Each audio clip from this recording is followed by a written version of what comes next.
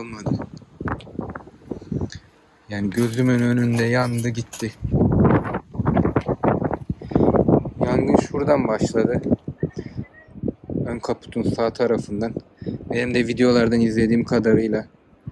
Ondan sonra kısa sürede zaten aracın tamamını kapladı. Yani arkadaşlara foto attığımda herkes bu arabanın kapıları nerede dedi. İşte arkadaşlar kapılar burada. Tamamıyla erimiş. Ön kaput. Arka bagaj da aynı şekilde. Bagajda oltalarım vardı benim. Balıkçılık namını her şeyin bagajdaydı. Daça'ya gitmiştik balık tutmaya.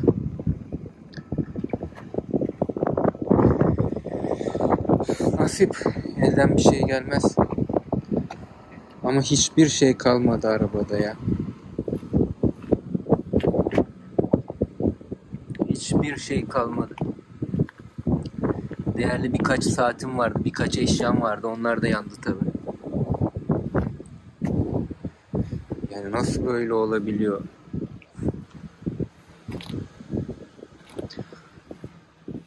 İtfaiye de biraz geç geldi.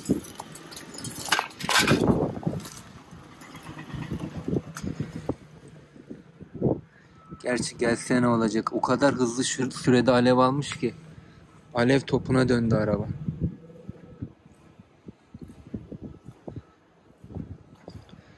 Dediğim gibi önden başlıyor. Arkaya kadar geliyor. Gecede biz olaydan birkaç saat sonra indiğimizde bakır telleri çalmaya çalışıyorlardı. Kovaladık ama gece gelip bakır tellerin pek çoğunu çalmışlar. Bunu da hurda olarak satacağız. Yani maksat arabayı buradan kaldırsınlar. Şimdi soruşturma başlatıldı. O yüzden elleyemiyoruz. İki gündür park halinde duruyordu araba. Pazartesi akşam Daça'dan dönmüştük. Salı günü hiç ellemedim yani kumandaya bile basmadım. Çarşamba günü saat 12'de öğlende bu olay yaşandı. Neden olur hiçbir fikrim yok. Yani kundaklama şüphesi var biraz. Kamera kayıtlarına bakacaklar ama şans işte burası da tam kör nokta. Etrafta dört tane kamera var. Dördü de tam olarak görmüyor burayı. Hiçbir problem yoktu arkadaşlar. Şu ana kadar araba hiçbir problem, ufacık bir problem bile bana çıkarmamıştı. Durduk yere nasıl yanıyor anlamadım. Sadece yıldan yıla bakıma götürüyordum. Hiç aksatmadım bakımını. 2015 model 120 bin kilometrede C7 makyajlı kasa Audi A6 Valla çok güzel anılarımız geçmişti gözümüzün önünde. Yok oldu ya. Sessiz sedasız gitti. Kaskosu da yoktu. Zaten 10 gün sonra Türkiye'ye dönecektik. O yüzden paramız da çöp oldu. Sigortasını yaptırmıştım trafik sigortasını 20 günlük Türkiye'ye gidiyorum diye. E, Rusya'da yaptırdığım kasko Türkiye'de geçmeyecek zaten. Kaskosunu yaptırmamıştım. O da işte böyle denk geldi.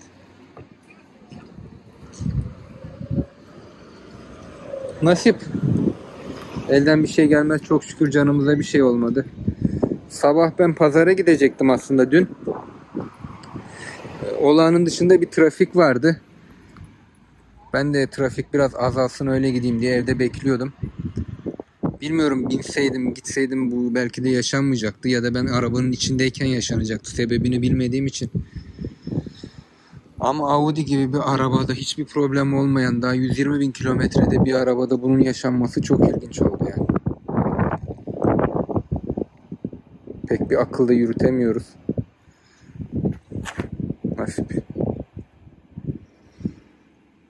Hurda arabamıza. Zaten takipçiler de biliyorlar bu arabayla çok yollar yaptık, çok maceralar yaşadık. Şimdi karşımda hurda olarak duruyor. Şöyle konsolla arabanın salonuna da bakacak olursak Hiçbir şey yok arkadaşlar ya. Zaten alevler hızlıca arabanın içine sıçramış. Görenler bir anda buranın alev topuna döndüğünü söylüyor. Bakın benim saatlerden birinin kadranı orada. Hiçbir şey yok ya bakacak da bir şey yok açıkçası. Dediğim gibi cana gelmedi mala geldi. Allah beterinden saklasın. Emeğimiz sonucunda kazandığımız helal paramız. Arkadaşlar evet birazdan hurdacı gelip bu arabayı yükleyecek. Sonunda cenazeyi kaldıracağız. Bir haftadan fazla süredir araba burada. Yani insanlar canavar ya. Hurda arabayı daha da nasıl hurda hale getirirler? Teybini meybini sökmüş. Zaten bütün bakır telleri ilk günlerde gelip söktüler.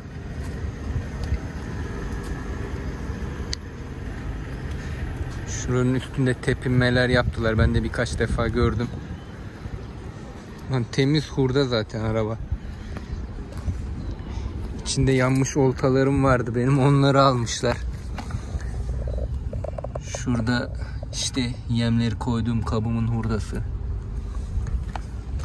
İnsanlar canavar ya.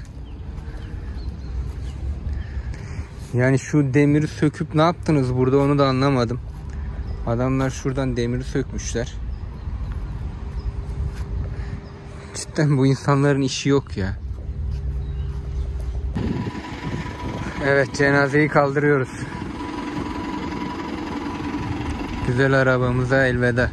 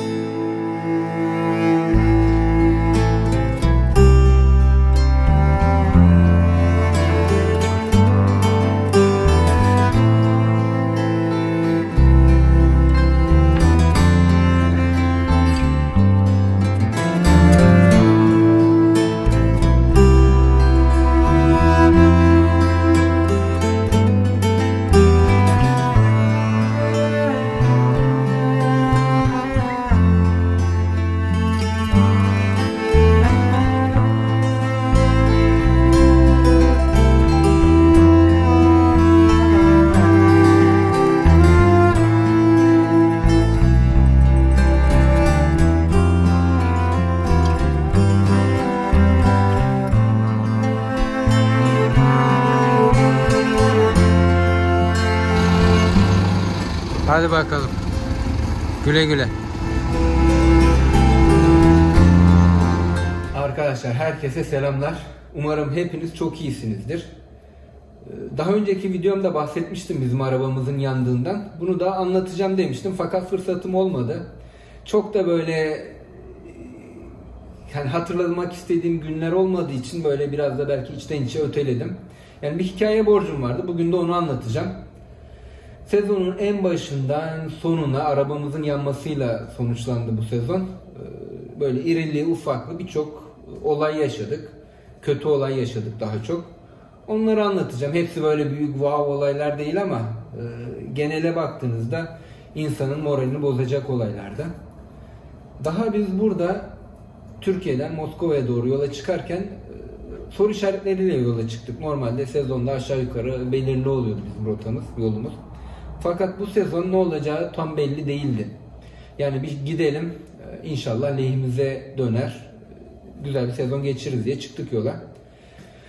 Daha yola çıkarken şimdi bizim önceki videoları izleyenler bilecektir. Bizim Moskova'da bir evimiz var. O evi de kiraya vermiştik. Bu tabii küçük yani arabanın yanmasıyla kıyas edilecek bir şey değil de. Ee, Daha giderken kiracı kiramızı ödememişti son ay. Gidiyorduk işte telefonlara da çıkmamaya başladı. Böyle yolda bunun kiracıyı nasıl çıkaracağız suhuletle onun şeyi vardı kafamızda. Çünkü adam telefonlara da çıkmıyordu. Bu basit olayı suhuletle de çözdük. Adam biraz aksi birisi. Çok umursamaz birisi ama zorluk çıkartmadı. Onu çıkarttık. Ondan sonra da Bismillah ticaretimize başladık. Şimdi biz hal işi yapıyoruz biliyorsunuz. Bizim satışlarımızın da genel marketlere, biz Moskova'da, Rusya'da bütün marketlerle de çalışıyoruz. Onlar faturalı. Fakat pazarda sattığımız mallar faturasız mallar. E tabi her gün benim kartıma, banka kartıma pek çok transfer geliyor. E, sordukları zaman da bu transferin kaynağı da çok belli değil yani faturası yok en basitinden. E, halde zaten insanların kartları bağlanmaya başladı. Yani bloke konmaya, dondurulmaya başladı hesaplar. Bu bize de denk geldi. Daha sezonun başında kartımda yüklü miktarda da para varken benim kartımı dondurdular. Blok yaptılar. 99 bin 99 bin günde çekebilirsiniz dediler. E ben de şimdi yoğunuz. Her gün bankaya git 99 99 kaç gün gitmem gerekecek. E, bir tane Azeri vardı. Bana 10 bin ruble komisyon verirsen ben bir günde işini hallederim dedi. Tamam dedik. Bir günde hallederim 10 bin sıkıntı değil. Gittik bankaya. Bunun dediği şekilde adamın yaptığı da bir şey yok. Sadece e, süreci öğrenmiş. Yani daha önce başına gelmiş herhalde. Neyse bunun dediği gibi yapmaya başladık. Fakat halde de pek çok kişi bu adam vesilesiyle parasını almış. Biz alamadık. Biz böyle bir radara takıldık, hesaplarımız incelendi falan, limit yok diyorlar. Ee, yani gelen parayı çekmiyordum ben. Gelen parayı gönderiyordum başkalarına. O şekilde e, hesabı aktif kullanıyordum. Fakat gidip de fiziki olarak paramı almıyordum. E çok para almışsın limitin dolmuş diyorlar. E bakın limit dolacak şekilde ben para almadım. Aa doğru ama sistem böyle ne yapalım size denk geldi falan derken benim paramı bir ay kadar vermediler. 99 e, bin 99 bin de çekemedim çünkü bu sürece başlamıştık. Bu sürece başladığınızda artık hesap kapanma süreci başlıyor böyle arafta kalıyorsunuz. Çok da bir hareket kabiliyetiniz kalmıyor o vakitten sonra. O bir ay yaklaşık belki fazla belki eksik tam bilmiyorum. Ee, acaba paramızı alamayacağız mı? Bankaya arada gidiyoruz. Hep yarın gel, öbürsü gün gel. Problem çözülmedi derken bu bir ay biraz bizi stresli geçti. Yani paramızın üstüne yatmayacaklarını biliyorum aslında. Fakat insan yine de merak ediyor. Neyse bir aylık sürecin sonunda böyle sinir, stres olarak paramızı aldık. Ama o stresi bizde kaldı. Sezonda dediğim gibi soru işaretleriyle geldik. Bu soru işaretleri hiç böyle bizim lehimize dönmedi. İlk başta biz öyle umuyorduk ya. Yani genel olarak da güzel bir sezon geçiremedik. Zaten Türk ürünleri bu yıl gücünü kaybetti mesela. Çilek sezonundaydık biz. Çilek çalışıyoruz fakat Yerli mal artık Rusya'da çok ekilmeye başladı. Çok fazla yerli mal geldi. Azerbaycanlılar artık çok fazla çilek ekmeye başladı. Geçen yıl mesela 3 araba geliyorsa günde bu yıl 15 araba, 10 araba gelmeye başladı. O da Türk çileğini vurdu. Derken bizim çilek böyle yoğunluğun içine denk geldi. İlk iki araba fena değildi ama ondan sonraki bütün arabalar zarar yazmaya başladı. Sezon da ilk başta kalite çok güzel gösteriyordu kendini fakat devamında böyle kaliteli bir sezon e, geçiremedik. Yani kısa da olsa bu sezonumuz hiç beklediğimiz gibi gitmedi. Zaten Çilek de bir anda dökümü kesti. Böyle hiç e, beklemediğimiz bir anda yok sezonu bitirmek zorunda kaldık. Şimdi ben de biz normalde şeftali, nektarin, incir, kayısı böyle devam ederdik sezona. Fakat son iki yıldır Rusya'da gerçekten işler kolay değil. Bizim yaş meyve sebze özelinde konuşuyorum. Diğer sektörlerde böyle bahsedebilecek kadar bilgiye sahip değilim. Ancak kulaktan duyduğum bilgiler var. Ee, geçen sezon iyi değildi. Bu sezonda böyle kendini hiç iyi göstermiyordu. Yani hacim yapsan hacim yapıyorsun. Bizde hacim yaptığında ne kadar çok mal getirdin o kadar çok para kazandın diye bir şey yok yani. Hacim yaparsın hacimli böyle büyük kazanabilirsin fakat tersi de geçerli. Büyük de kaybedebilirsin. Şimdi sektörü baştan sona anlatmayayım. Yani bu videonun konusu o değil. O yüzden ben geçen yıldan beri işleri biraz daha rolantiye alma taraftarıyım. Hep böyle daha az, daha az, daha az. Çünkü bu zarar hiçbir şeye benzemiyor. Bir anda insanı götürürdü arkadaşlar. Böyle dişimizle, tırnağımızla geceleri geç saatte kalkarak, uzun vakitler çalışarak işlerimizi bir yere getirmişiz. Ben bu riski almak istemedim. Haklı olarak da. Allah şükür benim de yani ben borçlu iş yapmayı çok sevmiyorum. Bankalara oraya buraya borcum olmadığı için böyle aksiyonları alabiliyorum. Yani bu koronadan sonra herkes bankadan kredi çekti, bir şeyler aldı e, servetine servet kattı. Ben böyle bir şey yapmadım. Hatta arkadaşlar bana diyordu ya neden yapmıyorsun falan. Ama bu da bana böyle bir esneklik sağladı. Belki orada konjonktürel olarak bir kazanç oldu insanlar için. Ben o kazançtan mahrum kaldım. Fakat böyle de bir esnekliğim var. Borcum olmadığı için işimi istediğim gibi, istediğim yerde kesebiliyorum, rolanti alıyorum. Borcun olsa mecbur ödemelerin oluyor. Bunu e, devam etmek zorunda kalıyorsun. Neyse e, işleri biraz rolantiye aldık. Hacmimizi küçülttük fakat hacim de küçüldükçe arkadaşlar mesela eskiden biz 2 yıl önce, 3 yıl önce daha evvelki yıllarda çok hacim yaparken halde sözünüz daha iyi geçiyor. Yani insanlar en basitinden yürürken herkes selam vermek istiyor, bir şeyler konuşmak istiyor. Çünkü bir çıkar ilişkisi oluyor. Ama hacim küçüldüğünde bir anda böyle çok rahat fark edebileceğiniz şekilde ne artık sözünüz geçmeye başlıyor, böyle her şey değişmeye başlıyor. Ben de bunu ilk defa bu sezon iliklerime kadar hissettim. Ee, işleri rolantiye aldık. İşlerimiz beklediğimiz gibi gitmedi derken e, sözümüz de geçmemeye başladı. E, zaten işleri kötü gidenin üstüne böyle basmaya kalkan çok olur. Biraz öyle olumsuz şeylerle de karşılaştık. Pazarda zaten hal biz burada geliyoruz beyefendi beyefendi konuşuyoruz fakat halde e, çalıştığımız insanlar yani çok da böyle üst tabaka olmuyor. Tabii ki çok iyi, çok nezih insanlar da var da kaybedecek hiçbir şey olmayan da bir sürü insan var yani. Başka sektörlerde de muhakkak vardır. Fakat mesela bir insan hapisten çıktı. Ee, hiçbir şey olmazsa gelip hale halde bir iş tutturuyor. Yani girerken kimse sizden sabıka kaydı sormuyor sonuçta. Ee, böyle kaybedecek şey olmayan insanlar var. Biraz stresli bir ortam.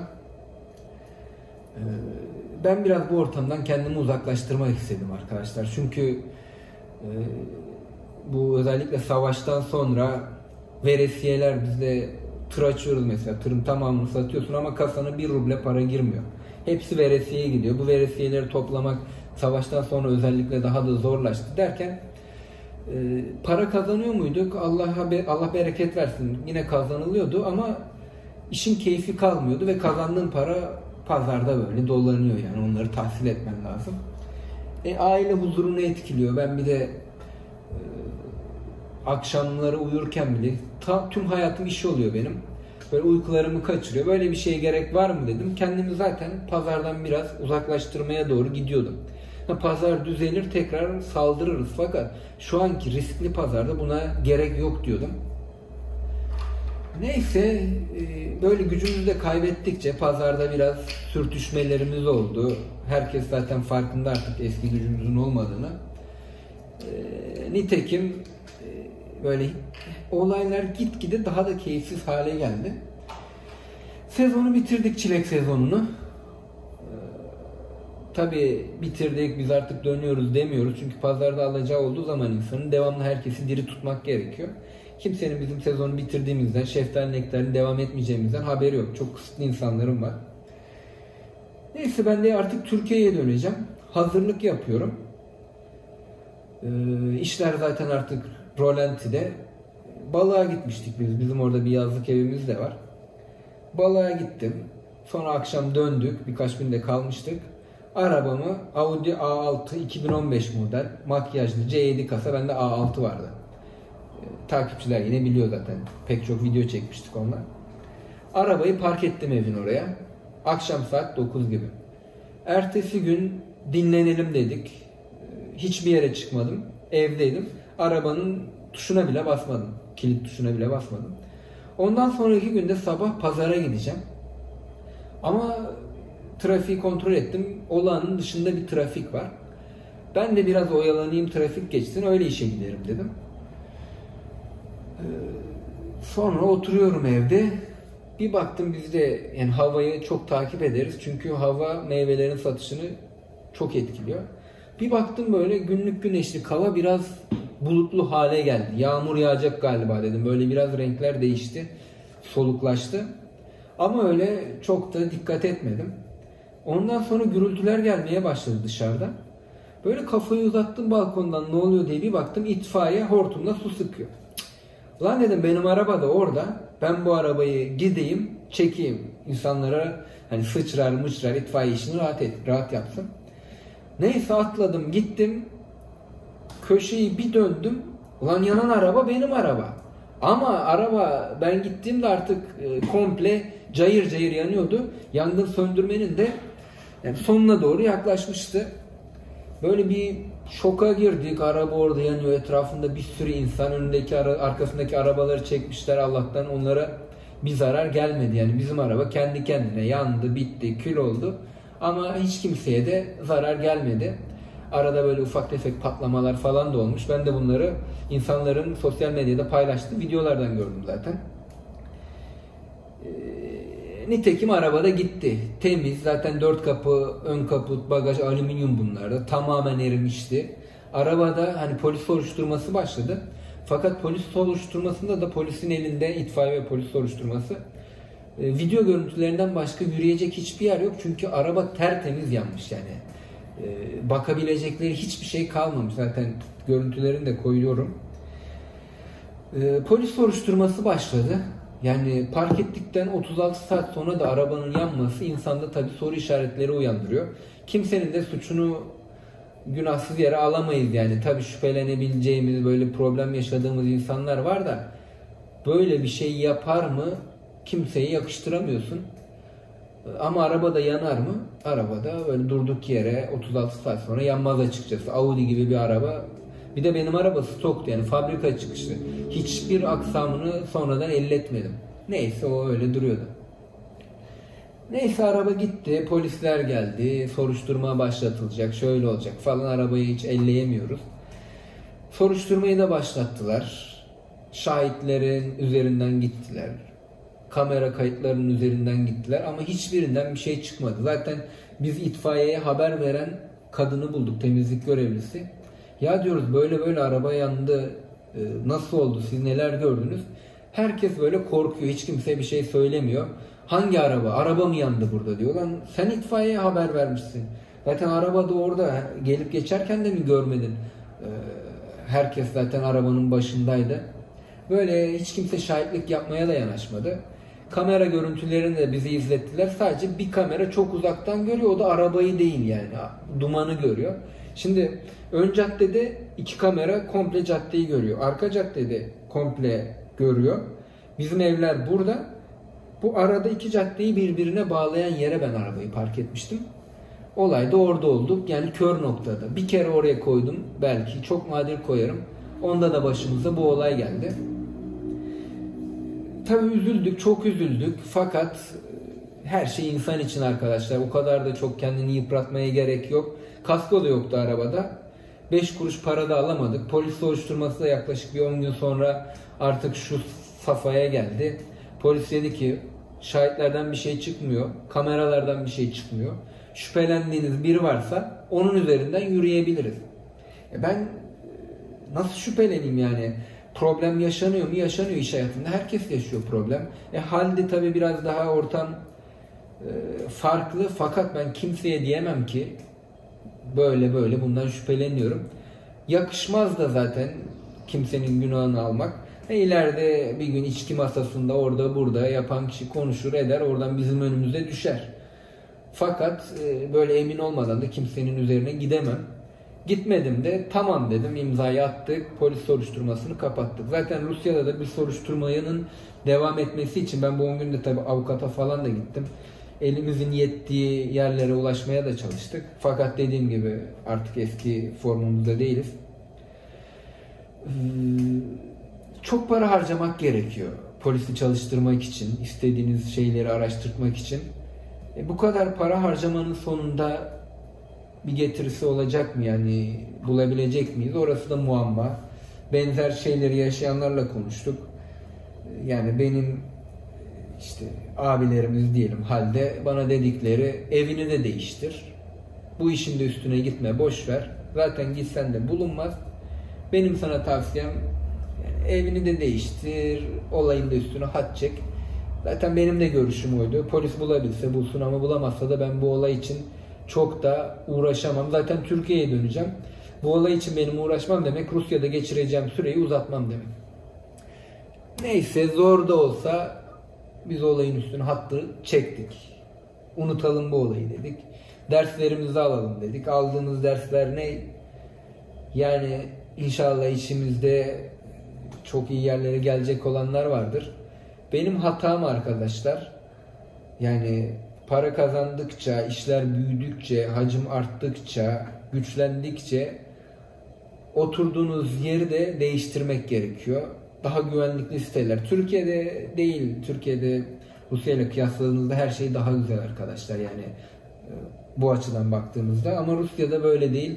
Biraz daha güvenlikli siteye geçebilirdim. Yani en azından arabayı park ettiğim yerlerin güvenliğine daha dikkat edebilirdim.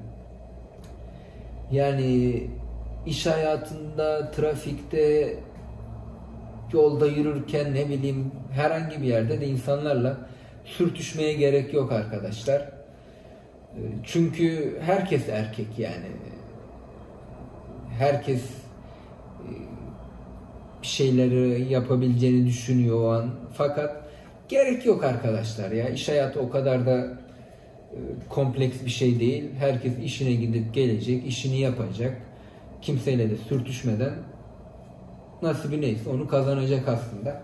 Ben de öyle yapıyordum. Çok böyle agresif birisi de değilim ama bazen kayışımızın koptuğu yerler oluyor. Stratejik hamleler yaptığımız yerler oluyor. Hal ortamında illa herkes birbirinin kuyruğuna da basıyor. Arkadaşlar videoyu çekerken bir telefon geldi ve çıkmam gerekti. Videoyu da yarıda kestim. Şimdi akşam oldu fakat bu videoyu biz bugün bitirelim. Bu konu kapansın. En son nerede kalmıştık? Araba yandı. Benim de nihai görüşüm bu arabanın birisi tarafından yakıldığı yönünde. Çünkü araba stoktu. Daha 130 bin kilometre civarındaydı. Herhangi bir problemi yoktu. Ve park ettikten 36 saat sonra bunun ateşlenmesini tetikleyecek hiçbir şey de yaşanmamıştı yani. Ee, ya benim nihai görüşüm bu yönde. Fakat e, benim görüşüm sadece yani bu kesin böyle oldu da demek değil. E, ama biz bunun üzerine hat çektik. Üzerine de gitmedik. Çünkü eğer birisi yaptıysa zaten e, bunun üzerine gidersen dediğim gibi çok para harcamak gerekiyor. E karşı tarafta para harcadığı zaman bu biraz yarışa giriyor. Benim de eskisi kadar e, imkanlarım yoktu. Bıraktık, ahirete bıraktık diyelim.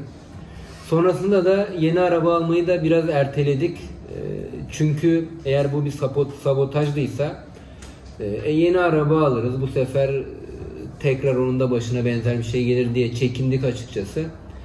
E, olaydan bir iki hafta sonra falan aldık yeni arabamızı. Tam Türkiye'ye geleceğimiz tarihlere yakın. E, fakat benim bu son zamanlarda kafam o kadar dalgındı ki arabayı da aldıktan sonra ertesi gün hemen park halinde başka bir arabaya dar bir sokakta e, arabayı sürttürdüm. Arka kapı, sağ arka kapı biraz hasar gördü. Sağ arka çamurluk yine biraz hasar gördü. Hatasız kazasız bir araba almıştım. Tekrar Audi A6 aldım. Hemen ertesi gün geciktirmeden hatasında kazasında bu kadar yani olumsuzluğun üstüne e, yapmış olduk. Önemli değil.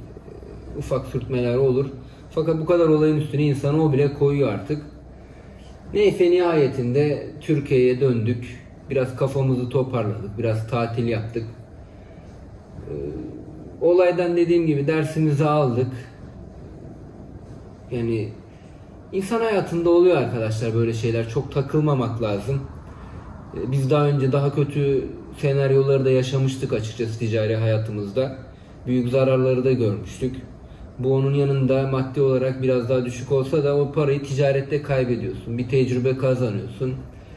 Ee, onun koyması ayrı oluyor ama e, bu araba durduk yere yanan arabanın koyması da bambaşka oluyor tabi. Çünkü ben bunu ticarette kaybetmedim. Durduk yere cebimden çıktı gitti.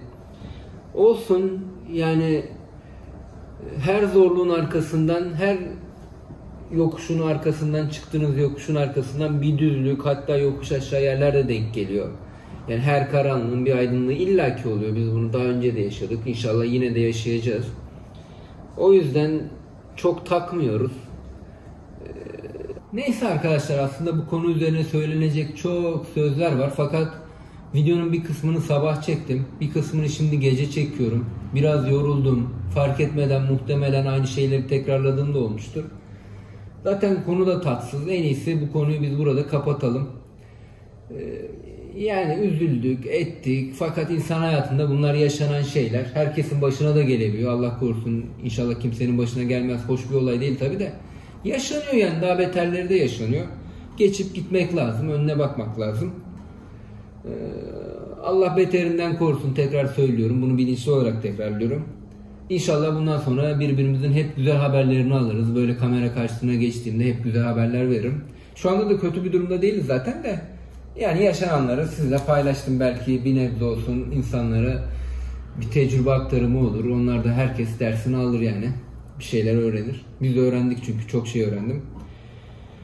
Ee, Şu konuya da değineyim arkadaşlar. Son zamanlarda kimle konuşsam benzer şeyler duyuyorum. Ee, Mesela benim kafam artık insan kaldırmamaya başladı. Ee, O yüzden böyle video çekmek, editlemek e, hoşuma gidiyor. Beni deşarj ediyor.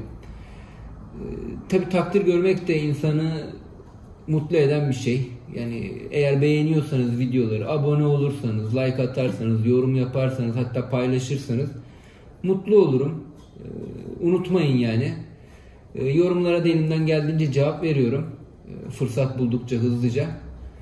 Böyle etkileşim içinde olalım. Ee, daha tecrübelerimizi paylaşırız. Benim sizden, sizin benden öğrenecekleriniz vardır, öğreneceklerimiz vardır. Gelecek videoda görüşürüz arkadaşlar.